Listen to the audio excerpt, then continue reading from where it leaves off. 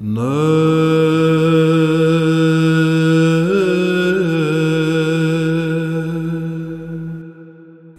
του στόματος σου καθά περπυρσός, εκλάμψας αχάρις, την οικουμένην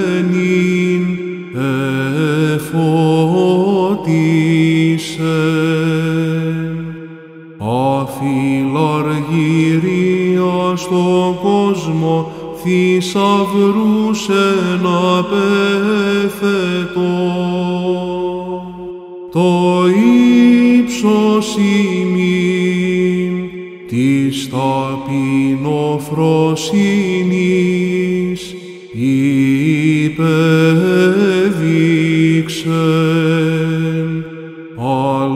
αλλά εις λόγης παιδεύων, Πάτερ Ιωάννη Χρυσόστομε,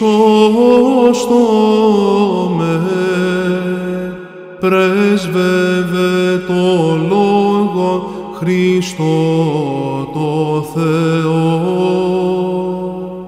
Σοφήνε τας ψυχάς ημών.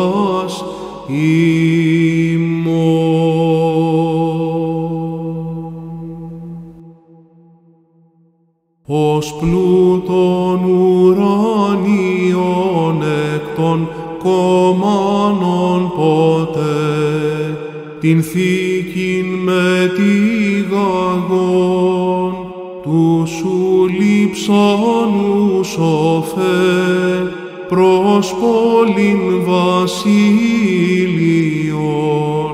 ταύτισουν εκτελούντες, την ανάμνησιν πόθο, μελπομένη ιεράρχα, την δοθήσαν σοι χάριν,